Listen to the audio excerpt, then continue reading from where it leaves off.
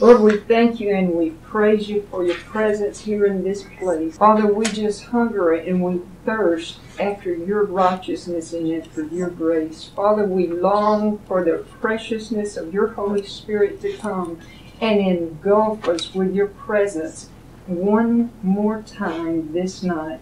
Father, we just long for your presence. We long to bask in your anointing. Father, I thank you and I praise you, Father, that this night will be a special night because we approach your communion table this night. And I thank you that it's a holy and a reverent time. And Father, I thank you that lives will be changed, people will be healed, needs will be met as we partake of the broken body and the blood of the Lamb this night. And Father, we give you thanks and we give you praise in advance, Father, for everything that will be accomplished in every heart and in every life this night. In the name of Jesus. Amen. Amen. Amen. Be turning in your Bibles to Acts chapter 2. Acts chapter 2, beginning in verse 42. In the early church, they met regularly and went from house to house and fellowship and broke bread together. And I don't think it's any accident that we have assembled tonight in this house to break the bread of life together. Acts chapter 2 and verse 42. And they continued steadfastly in the apostles' doctrine and fellowship and in breaking of bread and in prayers. Look at verse 46. And they continuing daily with one accord in the temple and breaking bread from house to house did eat their meat with gladness and singleness of heart. That phrase, breaking bread from house to house. You remember we learned that this was partaking of the agape or the love feast that the early church took of every time that they assembled together. You remember we covered in 1 Corinthians 11 where Paul had to address the church at Corinth because they was abusing this agape or love feast. And some of them were getting drunk. And some of them were eating all of the food. And others were going hungry. And we learned that when the early church assembled, that breaking of bread from house to house was partaking of the agape or the love feast and the Eucharist which is another term for communion. The agape or the love feast and the Eucharist or communion, both of them together are referred to as the Lord's Supper. Turn in your Bibles to 1 Corinthians chapter 10. 1 Corinthians chapter 10, beginning in verse 16. I love this passage. It says, The cup of blessing which we bless, is it not the communion of the blood of Christ? The bread which we break, is it not the communion of the body of Christ? For we, being many, are one bread and one body, for we are all partakers of that one bread. Notice this passage says that even though we are many, we are all one bread and we're all one body, and we are all partakers of that one bread who is Jesus. And if you'll take your hand out, I gave you some scriptures and we will look at those. This will just save time from turning to the scriptures individually because I want to take time tonight for you to experience the Lord's table. I gave you the handout so you can read those scriptures and, and save us time from having to turn to each one. We are partakers of that one bread who is Jesus. Jesus said in John 6 35, Jesus said unto them, I am the bread of life. He that cometh to me shall never hunger, and he that believeth on me shall never thirst. Jesus is the bread of life. And in John 17 21, Jesus is praying for us in this whole chapter of John 17. And the Lord Jesus prayed that they all may be one, as thou, Father, art in me, and I in thee, that they also may be one in us, that the world may believe that thou hast sent me. If it was important enough for Jesus to pray for us that we would be one, then should it not be the desire of our heart to be one in unity and in fellowship together, just as the early church experienced and just as Jesus prayed that we would be one? And when the early church met together to partake of the Lord's Supper and communion, it had a much more significant meaning to them than it does to us today because they had just come out from under the Old Testament laws where they celebrated the feast of Passover and all of the other feasts. And tonight I want us to partake of the Lord's Supper the way that Jesus instructed his disciples and the early church to partake. We know that communion is such a vital part of the Lord's Supper, it being a part of the agape or the love feast and the Eucharist or communion, both of them together being the Lord's Supper. And I want to share with you a little bit about the Feast of Passover because that is what Jesus was celebrating with his disciples that night when he took that bread and broke it, and when he took that cup and passed it. He was partaking of a Passover meal with his disciples. Now, the Feast of Passover begins with the lighting of two candles accompanied by a blessing, and it's traditionally done by the mother of the house. And this represents the fact that Jesus, the Messiah, the true light of the world, entered into the earth through a woman. So I will ask the mother of this house where we are assembled to light the two candles and pray a blessing over this house. Amen. Turn in your Bibles to Exodus, the book of Exodus, chapter 12. And we're going to learn a little bit about the Feast of Passover and how it applies to us today. Exodus 12 gives us a detailed description of the Passover being instituted. The Jews celebrated Passover. The Lord indeed passed over the houses of the Israelites in Egypt when the death angel struck the Egyptians' houses, but the death angel spared the children of Israel's houses. He passed over their houses. Let's read. I wish we had time to read this whole chapter because it's so wonderful, but I'll just read portions of it. Exodus chapter 12, beginning in verse 3. Speak ye unto all the congregation of Israel, saying, In the tenth day of this month they shall take to them every man a lamb, according to the house of their fathers, a lamb for a house. And if the household be too little for the lamb, let him and his neighbor next unto his house take it according to the number of the souls. Every man according to his eating shall make your count for the lamb. Now watch this. Your lamb shall be without blemish, a male of the first year.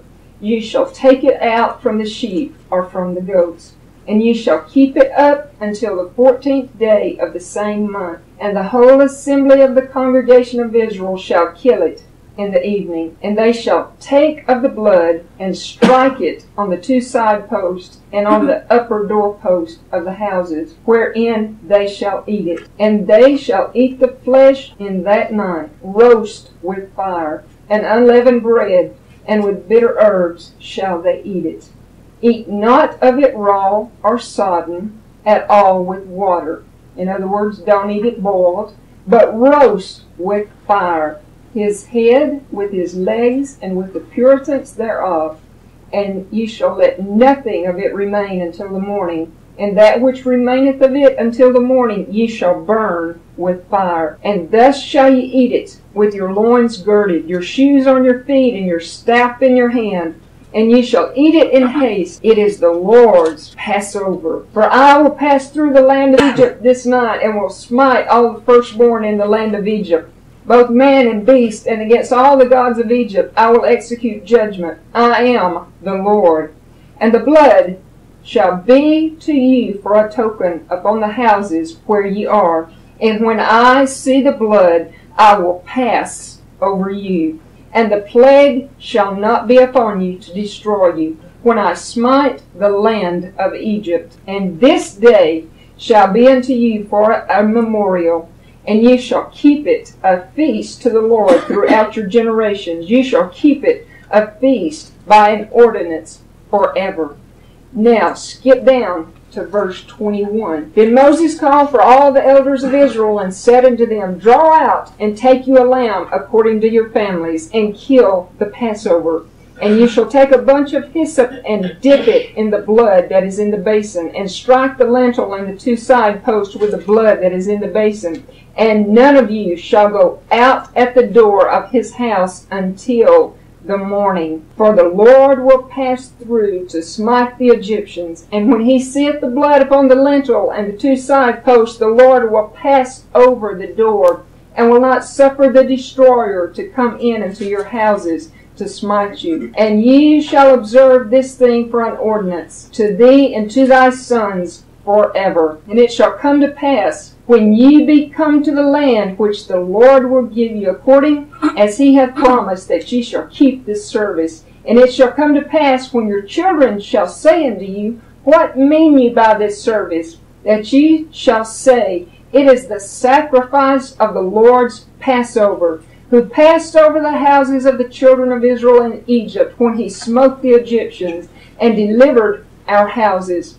And the people bowed the head and worshipped. And the children of Israel went away and did as the Lord had commanded Moses and Aaron. So did they. And it came to pass that at midnight the Lord smote all the firstborn in the land of Egypt, from the firstborn of Pharaoh that sat on his throne unto the firstborn of the captive that was in the dungeon, and all the firstborn of cattle. And Pharaoh rose up in the night, he and all his servants and all the Egyptians, and there was a great cry in Egypt, for there was not a house where there was not one dead.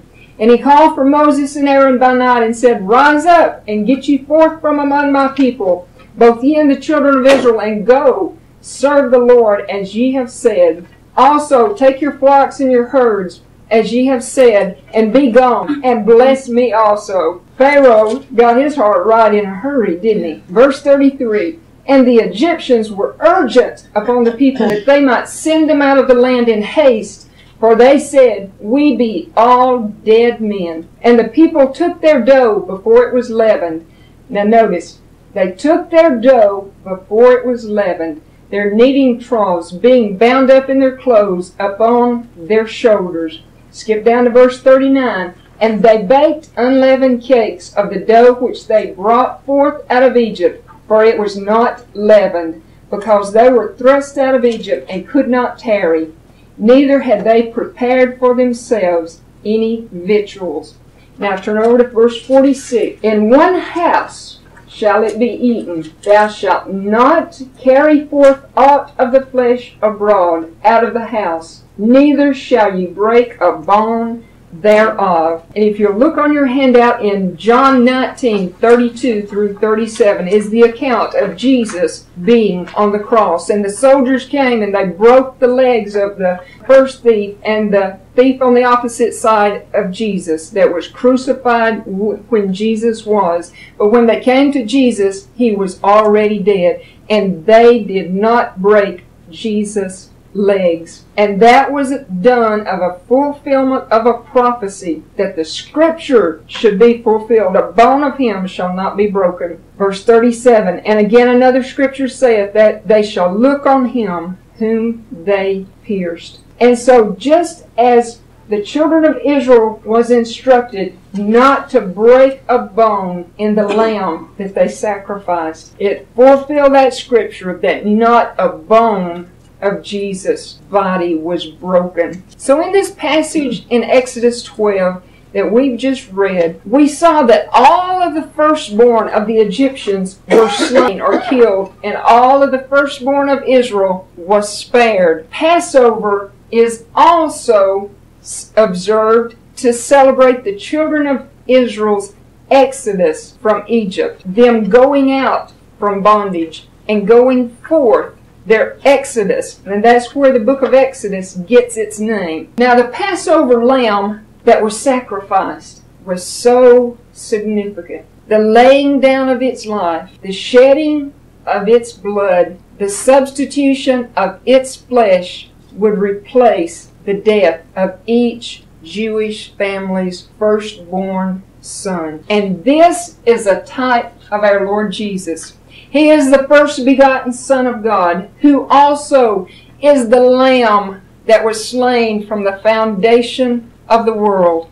The firstborn son in every children of Israel's house was made to understand that his very life was being ransomed by that Passover lamb. And today we are the sons of God, and we deserve to die for our sins. But the spotless Lamb of God offered himself as a sacrifice for our sins. That night in Egypt, the Israelites' lives were spared as they sacrificed that Passover lamb. And this is a beautiful picture of the Lamb of God who 1500 years later would be offered in death at the Passover feast in Jerusalem. As the children of Israel ate that Passover meal, as they placed the lamb in their mouth, healing and strength began to come into their physical bodies of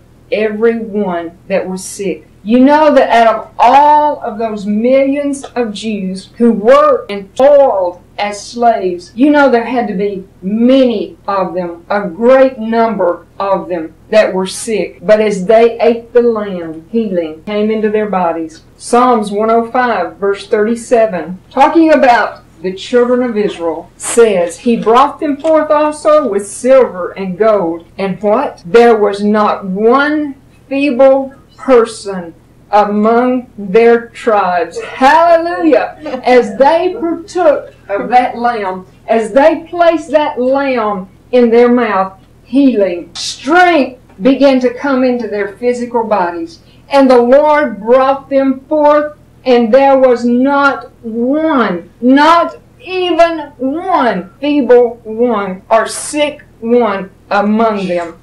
What a miracle.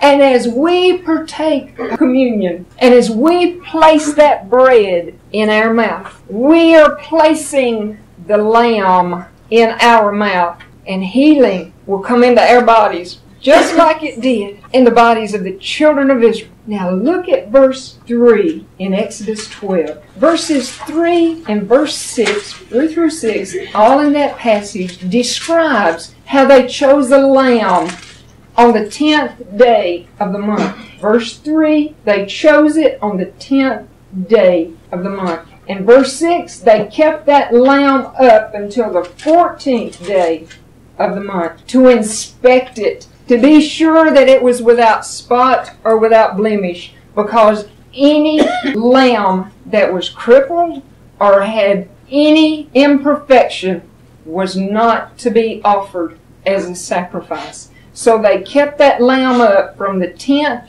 to the 14th day to inspect it, to make sure it was without spot and without blemish. And do you know that our Lord Jesus fulfilled this requirement of Scripture because the very day that the Paschal Lamb was set apart, our Lord Jesus rode a donkey into Jerusalem on Palm Sunday, four days before the feast of Passover, so that the people might examine him before choosing him as their lamb. Jesus fulfilled every scripture. And we know from the scriptures that Jesus became that Passover lamb. First Corinthians 5 and verse 7 says, Purge out therefore the old leaven, that ye may be a new lump, as ye are unleavened, for even Christ, our Passover, is sacrificed for us. And John the Baptist clearly marked our Lord Jesus as a blood sacrifice when he stated in John 1 29, John said, The next day John seeth Jesus coming unto him and saith, Behold the Lamb of God, which taketh away the sin of the world. So John, when he looked at Jesus and he saw him coming, he saw a lamb coming that would take away the sin of the world. Hallelujah. Praise the Lord. Back in Egypt, the Jews marked their house with the blood of the lamb. They applied the blood to the lintels and to the two side posts. They marked their house with the blood. And do you know what that shape makes? Watch it. Yes, they marked their house with that blood on the lintels and on the side post. And that formed a cross. And that is what that was symbolic of when they were marking their house with the blood. Symbolic of the cross. And today, we as Christians have the blood of Jesus applied to our house or our temple. And when the enemy comes our way, he has to pass over us with whatever plague, with whatever sickness, with whatever disease he has, because he has no right to put it on us because the blood of Jesus is applied to our heart and applied to our life, and He cannot enter in. When we appropriate that blood and when we speak about that blood and when we remind Him that the blood of Jesus is upon our house, our temple, and you have no right to enter into this house, we have to remind Him and He has to pass over our house, our temple. Jesus, the Lamb, was slain. He was that Lamb slain. He was the Lamb given. He was the Lamb shared. He was the Lamb who sacrificed Himself in our stead. He is, He was, and He ever will be the Lamb of God, slain from before the foundation of the world.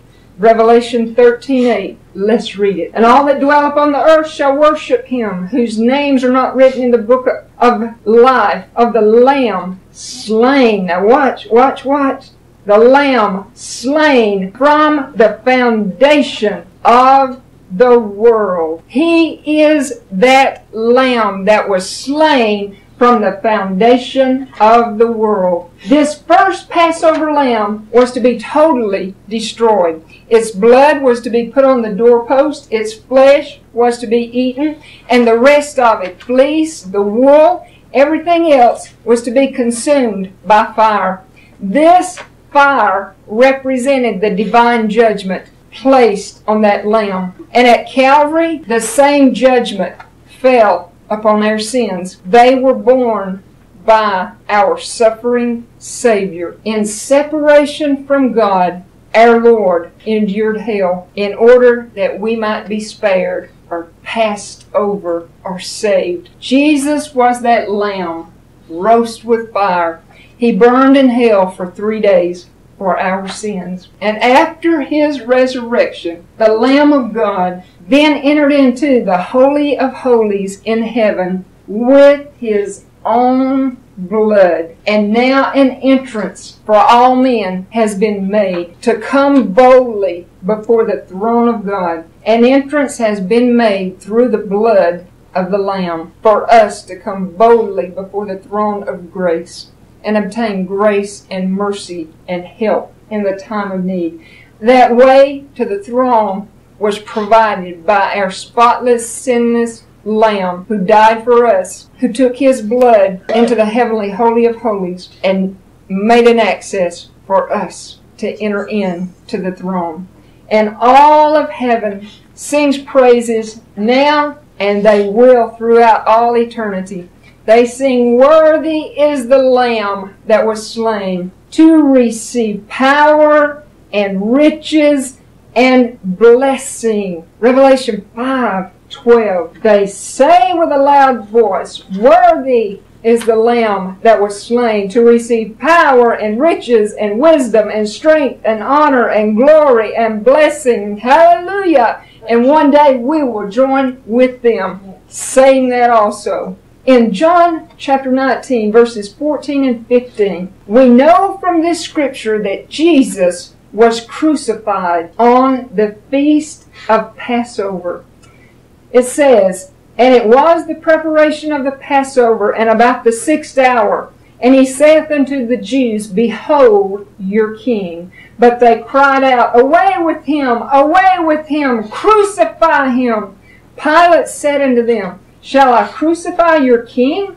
The chief priest answered, We have no king but Caesar. So it was the preparation of the Passover and about the sixth hour when Jesus was being judged in Pilate's hall. He was at that very moment fulfilling that scripture in Exodus 12 and verse 6 when that lamb was to be killed in the evening. If you have a good reference Bible, you will have a note by that phrase in the evening which says from the ninth to the eleventh hour. And Mark 15 verses 33 through 37 says that from the sixth to the ninth hour there was darkness.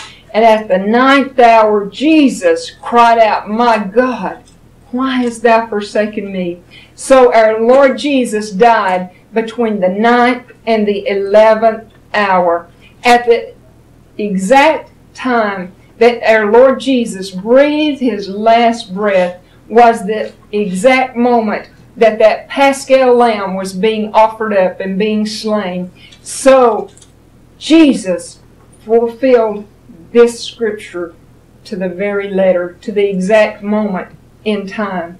He breathed his last breath at the time this Passover lamb was being slain. And Jesus was taken off the cross and buried at sundown. Now, watch this, which marks the beginning of a new day according to God's calendar. A Jewish day doesn't begin in the morning like our days does. A Jewish day begins in the evening at sundown. A Jewish day goes from moonrise to moon down, where our day goes from sunrise to sundown. You remember all throughout Genesis, the Lord would say, in the evening and the morning, the evening and the morning. He always, always, always mentioned the evening first.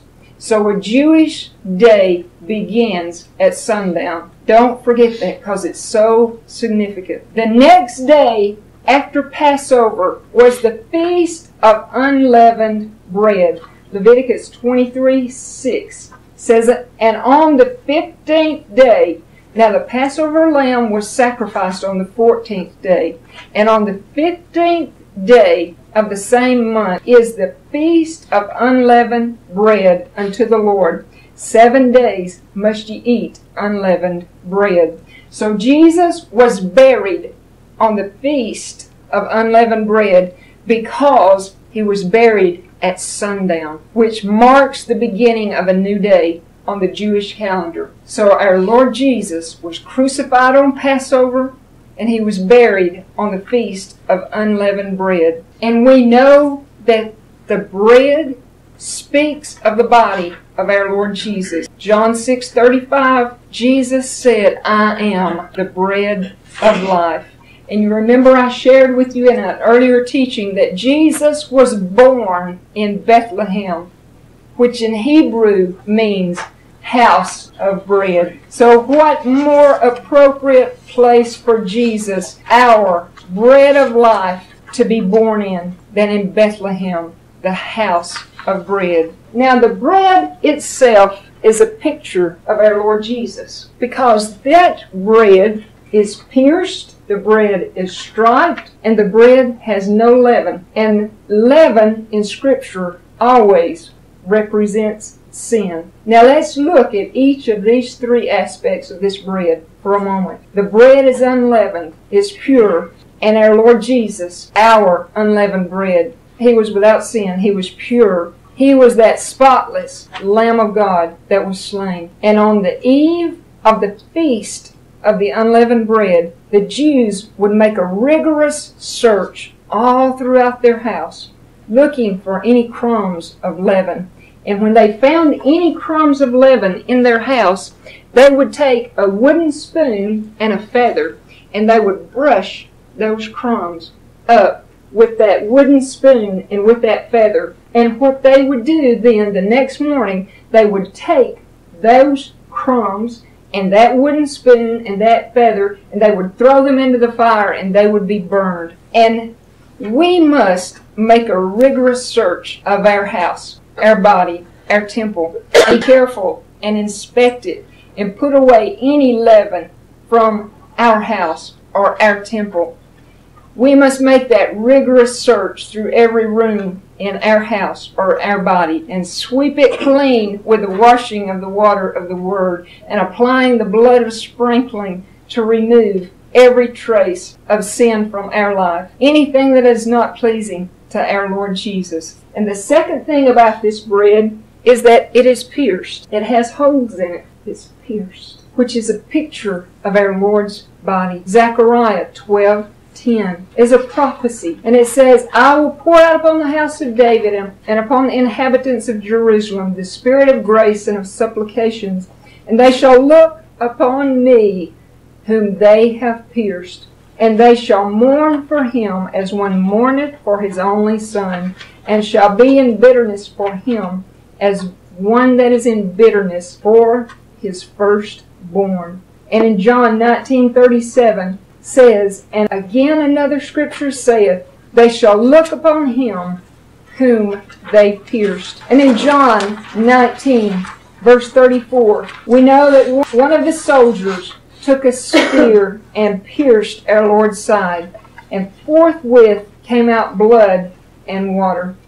So our Lord Jesus, our precious loaf of unleavened bread, was pierced. And another thing about this bread is that it is striped. It is striped. 1 Peter 2.24 says, Who his own self bare our sins in his body on the tree, that we, being dead to sin, should live unto righteousness, by whose stripes ye were healed. So this bread is unleavened, it's pierced, and it's striped. Now at the Passover meal, they had a dish with three pieces of matzah or unleavened bread. And I was listening to a tape by Kenneth Copeland years ago, and he made a statement. He said he knew a man who was a born again Jew, and this man told Copeland that we had it all wrong when we observed the Lord's table. And it was out of that one statement that this study was born years ago. I thought, the way we celebrate communion is wrong? How should it be done then? So I studied on the scripture for weeks and months. And when I say that I've studied on the subject, you know by now that that means that I read every scripture in the Bible. I looked up every word in the Hebrew and in the Greek. I read Jewish books. I read commentaries. I read everything I could get my hands on about communion. Before I started this teaching, I had 84 pages of notes on communion. And now I have well over a hundred pages on this one subject, and I still can't put it into words. There are no words to describe the awesomeness of the meaning of the communion table. It's just too big to put into words.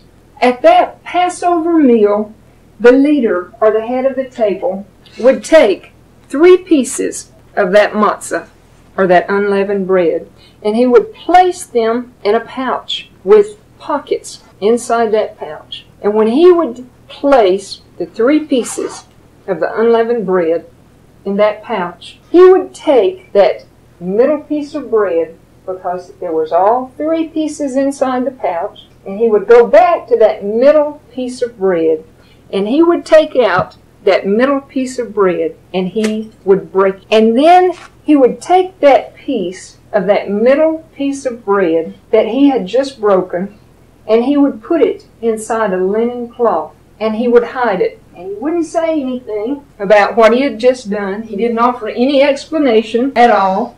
He would just go right on with the Passover meal Now, let me tell you what that represents. To Jews, it represented Abraham, Isaac, and Jacob, because Isaac was a type of Jesus. Because Abraham was to offer Isaac upon the altar as a sacrifice. And to those of us who are born again, that matzah, that middle piece of bread that is broken, and the three pieces together, a first one, the middle one that is taken and broken, and then that third piece of bread, to us Christians, we know that that represents God the Father, God the Son, and God the Holy Spirit. And in the middle of the feast, they take that middle piece of bread and break it and hide a piece of it. And that piece that is hidden is called the afikoman. A-F-I-K-O-M-A-N. Afikoman. And it's a word of Greek origin meaning a kind of dessert. And it is traditional that the children of the house will look for it and that they will find it. And before saying grace over the Passover meal, everyone partakes of a piece of that afikoman. The afikoman is the bread that we partake of at the communion table. The afikoman and the cup of wine is communion. So I want to ask the youngest member of this house to find the afikoman. It was searched throughout the house by the children, and the children would find the piece that was hidden. Go ahead and find it, and then bring it to me. And the child that found it was given a reward for finding the alpha afikoman. Thank you. That middle piece of bread represents our Lord Jesus. He was sacrificed. He was broken for the sins of the world. He became the bread of life to us, and we partake of him. The bread which we break is the body of our Lord Jesus Christ. He is our matzah. He is our afikoman. He is our feast of unleavened bread. When that middle piece of bread was broken, it was wrapped in linen and hidden. And we know that Jesus is the hidden manna. Luke 23. Luke 23, beginning in verse 52. This man went into Pilate and begged the body of Jesus, and he took it down. And what did he do with the body of Jesus? He wrapped it in linen and laid it in the sepulchre that was hewn in stone, wherein never man before was laid. They're acting this out, and unless they're born again, they don't even realize it. But his body was wrapped in linen and hidden or placed in a tomb. But after three days, he was found because he was resurrected and he came forth from that tomb, which fulfilled the third feast, which is the feast of first fruits. This feast was held three days after the feast of unleavened bread. So Jesus was crucified on the feast of Passover he was buried at sundown, which marks a new day on the Jewish calendar. So he was buried on the feast of unleavened bread, and he was resurrected or raised on the feast of first fruits. Jesus fulfilled these first three feasts. The feast of Passover, Jesus was that lamb slain. He died on the cross at the same time that every lamb was being sacrificed and being slain for that Passover meal for the children of Israel in their homes. Feast of unleavened bread, the breaking, the burying, and the resurrecting of that middle piece of bread represents our Lord Jesus. God performed this exact ceremony with the burial of our precious piece of unleavened bread on the exact day of this feast. Jesus was buried at the beginning of the feast of unleavened bread, since his body was interned at sundown on Passover day. Can you see that? He was crucified on Passover, he was buried on the Feast of Unleavened Bread, and the Feast of First Fruits. This feast was held on Sunday following the Feast of Unleavened Bread. Leviticus 23, 10 and 11 says, Speaking to the children of Israel and saying to them, When you come into the land which I give unto you, and shall reap the harvest thereof. Then shall you bring a sheaf of the first fruits of your harvest unto the priest, and he shall wave the sheaf before the Lord to be accepted for you. On the morrow after the Sabbath, the priest shall wave it. So this feast was held on Sunday, following the feast of unleavened bread, the feast of first fruits. Jesus was raised from the dead on that third day. Now, during the Passover meal, the other two pieces of bread are eaten, and they're eaten with bitter herbs. You remember what we read in Exodus chapter 12 and verse 8, you remember it talked about the bitter herbs? So, the other two pieces of bread are eaten during a Passover meal. Now, I want you to notice it had been 1500 years since that first Passover lamb was sacrificed in order to spare the children of Israel in Egypt. And now, some 1500 years later, the Passover lamb arrived in Jerusalem at the time of the feast of Passover. The twelve disciples had little knowledge of the significance of their simple meal with the Master. They were ignorant of the Passover lamb being in their midst. They had no idea that as they took that broken bread and that poured out wine from their Savior's hands, that those same hands would soon be nailed to a cross. They had no idea that in just a few short hours, Jesus would be offering himself as a supreme sacrifice for all men for all time. They did not know that as every lamb had been offered on 10 million altars had looked forward to this point in history. So from that moment on, every communion service held like the one we're having tonight, every Last Supper celebrated looked back to that time. The Passover was celebrated looking ahead to the time when the Passover lamb would be sacrificed. Now, today, we partake of communion and we look back at that day when Jesus, our Passover lamb, was sacrificed. But the disciples had no idea that the lamb was there in their midst. But there was one at that table who knew, who fully understood what was facing him, as if it had already taken place. At this Passover feast, God acted to intervene on our behalf. He would share his own life, lay down his own body, spill his own blood in order to save us from our sins. That was God's way. That was the Son's way. That was love's way. That was the way of the cross. Turn to Luke chapter 22, beginning in verse 15. And he said unto them, with desire, I have desired to eat this Passover with you before I suffer. For I say unto you, I will not any more eat thereof until it be fulfilled in the kingdom of God. And he took the cup and gave thanks and said, Take this and divide it among yourselves. For I say unto you, I will not drink of the fruit of the vine until the kingdom of God shall come. And he took bread and gave thanks and brake it and gave unto them, saying, This is my body, which is given for you. This do in remembrance of me. Likewise also the cup after supper, saying, This cup is the New Testament in my blood, which is shed for you. And if you'll remember from our teaching last week, we learned that there are two cups of wine that is mentioned in the scriptures during this Passover meal.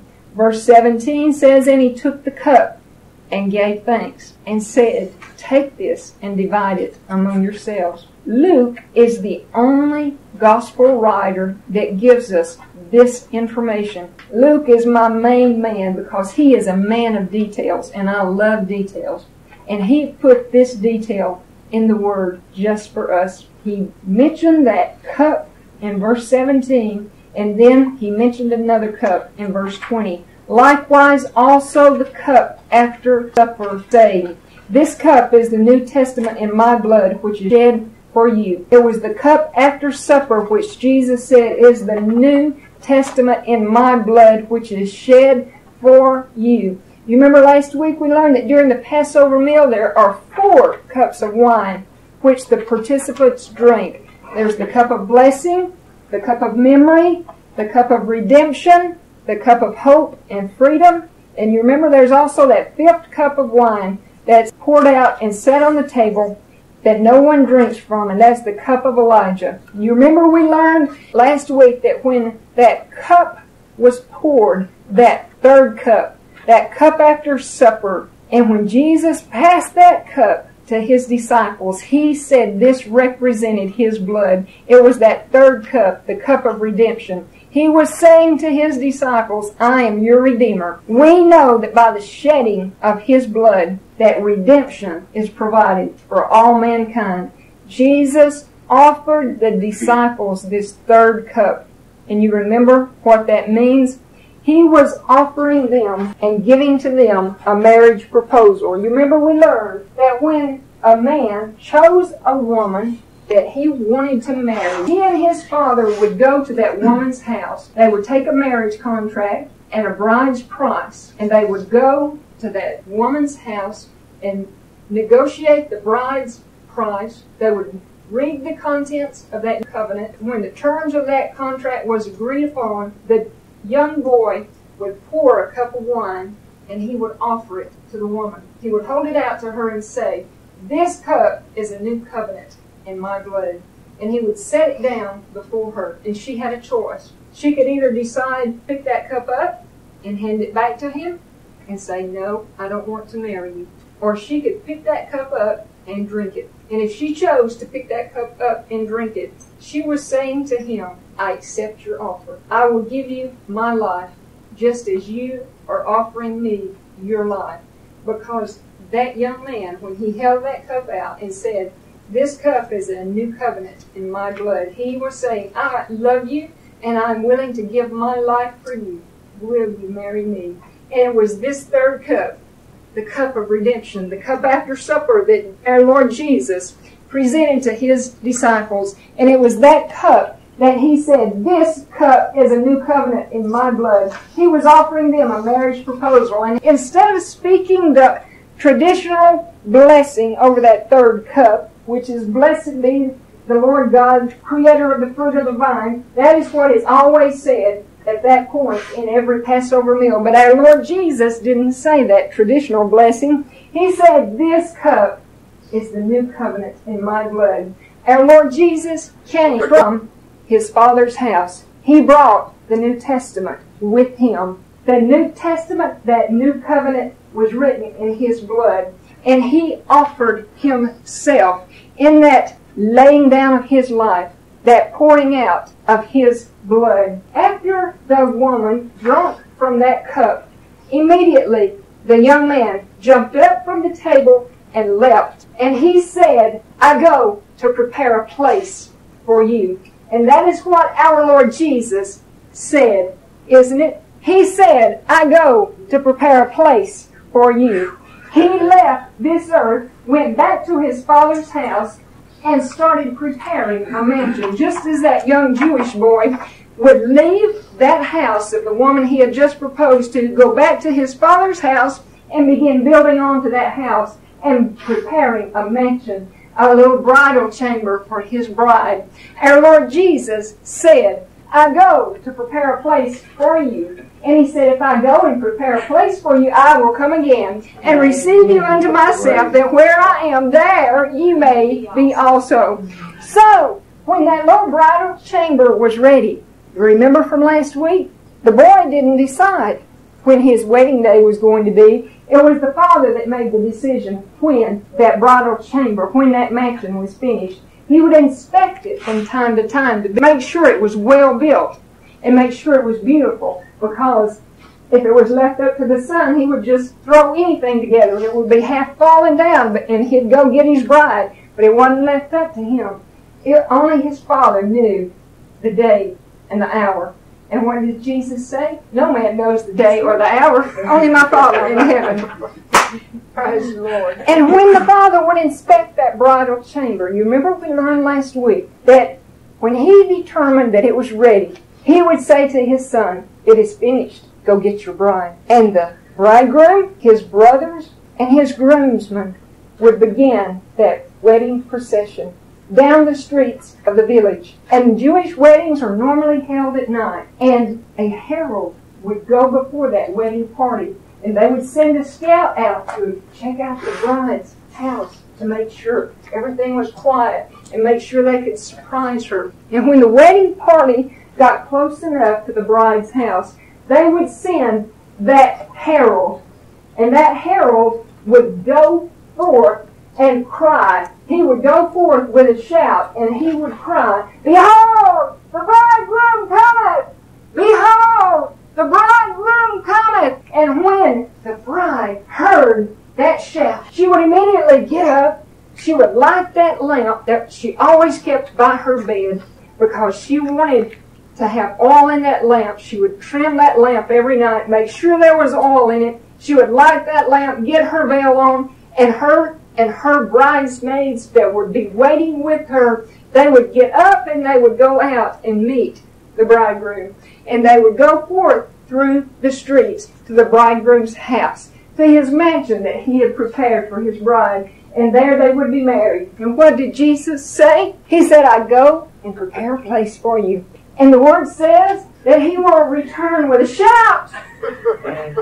when that herald cries, Behold, the bridegroom cometh. When that shout goes forth, we know that our bridegroom Jesus is coming for us. We know He is coming to take us with Him to that mansion that He has been preparing for us for 2,000 years. We know that when we hear that shout, our beloved bridegroom is coming for us. And every time we partake of communion, when we partake of that cup, the Lord Jesus is giving us a marriage proposal. He is saying, Will you And when we partake of that cup, when we pick that cup up, and when we drink from that cup, we're saying, Yes, I will be your bride. I will marry you. I will wait for you till you come. I will make myself ready. The bride, the Lamb's wife, Revelation says, hath made herself ready. Someone is required of us. We have to make ourselves ready for our bridegroom when he comes. And every time we partake of that cup, Jesus, our bridegroom, is giving us that marriage proposal. And when we drink from that cup, we're saying, Yes, Jesus. I will marry you. Praise the Lord. I will be your bride.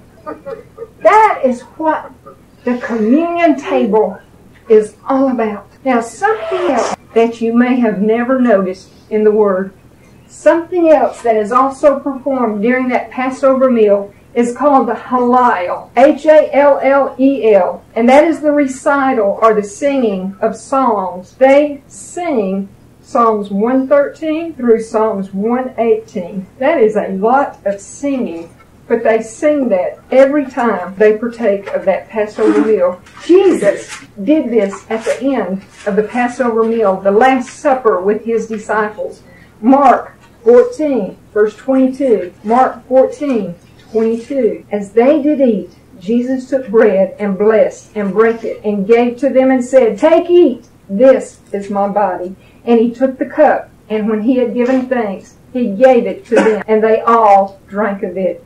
And he said unto them, This is my blood of the New Testament, which is shed for many. Verily I say unto you, I will drink no more of the fruit of the vine until that day when I drink it new in the kingdom of God. Watch this, verse 26. And when they had sung a hymn, they went out into the Mount of Olives. Had you ever noticed that they sang a hymn as part of their communion meal? I myself do not have a musical talent to sing the literal songs that they sing, but I like to sing at the end of communion. I'll sing, Oh, the blood of Jesus. What can wash away my sins? Nothing but the blood of Jesus. I'll sing about that blood. Notice that he took bread and it was one piece. They all ate of that one piece of bread. They all eat of that broken piece of matzah. They took the cup. It was from one cup which they all drank from, and they sung a hymn. And my margin says a psalm. Now let's partake of communion and discern our Lord's body and also discern our own body. And remember that as we place that bread in our mouth, we are placing the lamb in our mouth, and healing will come into our bodies as we eat the lamb.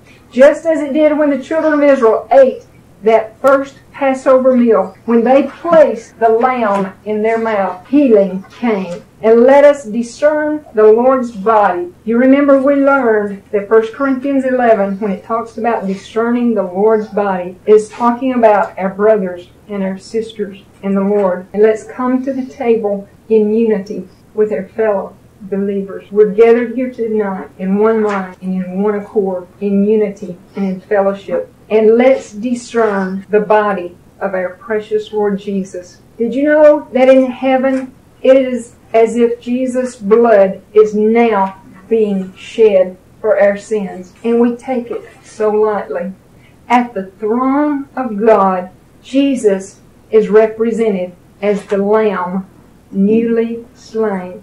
Revelation 5 6 says, And I beheld, and lo, in the midst of the throne and of the four beasts, and in the midst of the elders, stood a lamb as it had been slain, having seven horns and seven eyes, which are the seven spirits of God sent forth into all the earth. Notice it says, And I beheld, and lo, in the midst of the throne stood a lamb as it had been slain. That phrase, stood a lamb, means a little delicate lambkin. And that phrase, as it had been slain, means as if it is now in the act of being offered. So important is the sacrificial offering of Christ in the sight of the Heavenly Father that He is still represented as being in the very act of pouring out His blood for the sins of man. He is taking away sin by that continual intercession of His blood in heaven. So let us partake of the Lord's table. Let us discern our own body and realize that as we place the lamb in our mouth, healing comes into our body and sickness must go. And let us discern our Lord's body. When we place that lamb in our mouth, we're placing the bread of life in our mouth. That bread that was pierced and struck and unleavened. The body of our Lord Jesus pierced for us, striped. His body was beaten and whipped. And with his stripes, we are healed. And as we partake of the wine, let's discern that Jesus, his poured out blood, provides forgiveness and cleansing for us. And at this moment in heaven, it's as if our Lamb is pouring out His blood for our sins. So let's partake of our Lord's table, and after we're finished, let's sing a song or a hymn under Him. So we will partake of that middle piece of bread, that piece that is the afikoman, that piece that was broken and hidden and buried and resurrected, representing the body of our Lord Jesus. Let us partake of that one piece of bread the body of our Lord. So break off the piece and pass it. Thank you, Jesus. Thank you, Jesus. Lord, we love you. We praise you. Thank you, Jesus. Thank you. Thank you, Father. We approach your table in awe and in reverence this morning. Thank you, Lord. Lord, we love you. We worship. We honor you. And we recognize that as we place the lamb in our mouth, healing comes into our physical bodies driving out sickness, driving out disease. It cannot stay. When we place the lamb in our mouth, healing comes in our bodies, just as it did the children of Israel. They went out and there was not one feeble one among their tribes. Father, as we partake of your broken body, as we place the lamb in our mouth, healing, healing comes into our bodies. The Lord Jesus said, He took bread and blessed and break it and gave to them and said, Take, eat. This is my body. Thank you, Jesus. Mm-hmm. Healing is in our land. Thank you, Father. Healing is in our land. Oh, we love you. Mm-hmm. Thank you, Jesus. Healing. Healing is flowing into our body. Everyone that is sick among us, healing now enters into their body because they place that lamb in their mouth. Father, we receive healing now in their physical bodies. We have partaken of the bread of life, and your life now enters into us. As the Passover lamb, you came and you gave your life and was slain. It was for all mankind that you took their pain. So your precious blood would wipe away sin stain. It was on the cruel cross that you were hanged. in order that we might have life and power through your name. As punishment of our sins, we deserve death, but you took the blame and the raging storm of sin's power you did tame. For you are the spotless, sinless Lamb who for us was slain. Thank you, Jesus. Thank you, Jesus. Thank you, Lord. And he said unto them, He took the cup, and when he had given thanks, he gave it to them, and they all drank of it. They all drank of that one cup. And he said, This is my blood of the New Testament, which is shed for many. Father, as we partake of this cup, we are partaking of the blood of our Lord Jesus. We receive cleansing, forgiveness. Thank you, Father. We partake this cup. You are offering us that marriage proposal. You are saying to us, you are asking us this question Will you marry me? Will you be my bride? And as we partake of this cup, we are saying, Oh yes, oh yes, oh yes, Lord. We will be your bride, for we long to be right there by your side. And we long to walk with you down those streets of gold, walking hand in hand through ages untold. And we join with the heavenly host now that sing your praises and they resound. Praising, singing, worshiping, honoring Jesus Christ the Lamb. Thank you, Jesus. We partake of your cup and we say, Yes, yes, yes, Lord Jesus. We will be your bride. We will marry you. Yes. We will wait for you till you come for us to take us to that mansion that you're preparing for us. Lord. We say yes Yes. as we partake of this cup. We are saying yes, we'll be your bride. Come, Lord Jesus. Come quickly for your bride. Thank you. Lord, we love you. We worship you. Oh, we honor you. Thank you, Jesus. Hallelujah. Thank you, Jesus.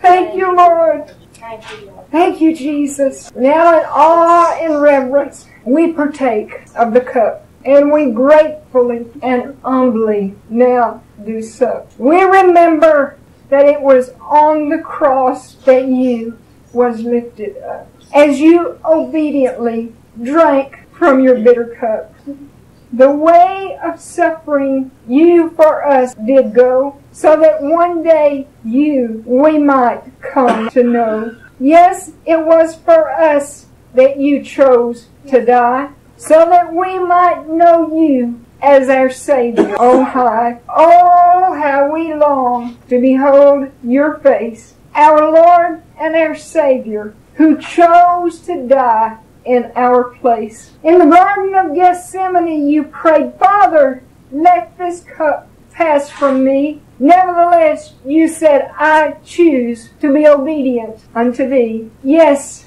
you said, yes, I choose to drink from the bitter cup. You see, so that one day you might belong to me. Father, I thank you. Uh-huh. Thank you that you drank that bitter cup for us, so that one day, one day, we would belong to you. Thank you, Jesus. He gave the command to drink ye all of it. So anything that's left in the cup, you must drink. So I'll ask the head of our house to finish our cup.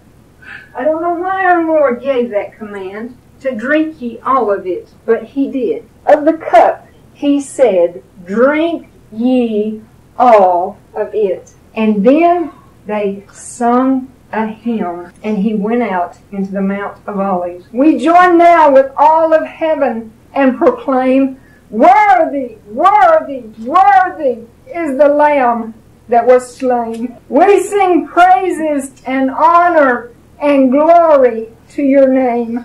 In heaven, at the throne, it is as if now, you are right now, at this moment, being slain to provide forgiveness for our sins as we call now on your name. Let's join in, sing that song of worship and praise to Jesus, our Lamb. There was one other thing that our precious Lord did with his disciples, and I would like for us to do it tonight. He washed their feet. I would like for us to partake of this ordinance. If you have your Bible, turn to one passage in the book of John, chapter 13. John, chapter 13, beginning in verse 1. Now, before the feast of the Passover, when Jesus knew that his hour was come, that he should depart out of this world unto the Father, having loved his own which were in the world, he loved them unto the end. And supper being ended, the devil having now put into the heart of Judas Iscariot, Simon's son, to betray him. Jesus, knowing that the Father had given all things into his hands, and that he was come from God and went to God, he riseth from supper and laid aside his garments and took a towel and girded himself. After that he poured water into a basin and began to wash the disciples' feet, and to wipe them with the towel whereon he was girded. Then cometh he to Simon Peter, and Peter saith unto him, Lord, dost thou wash my feet? Jesus answered and said unto him, What I do thou knowest not now, but thou shalt know hereafter. Peter saith unto him, Thou shalt never wash my feet. Jesus answered him, If I wash thee not, thou hast no part with me. Simon Peter said unto him, Lord, not my feet only, but also my hands and my head. Jesus saith unto him, He that is washed needeth not save to wash his feet, but is clean every whit. And ye are clean, but not all. For he knew who it should be, who should betray him. Therefore said he, Ye are not all clean. So after he had washed their feet and taken his garment,